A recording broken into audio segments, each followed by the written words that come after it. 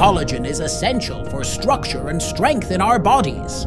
The Codeage Multi-Collagen Peptide Powder offers five types of collagen, plus vitamin C and probiotics.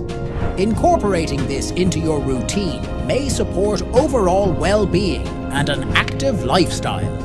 Discover the potential benefits of adding this supplement to your diet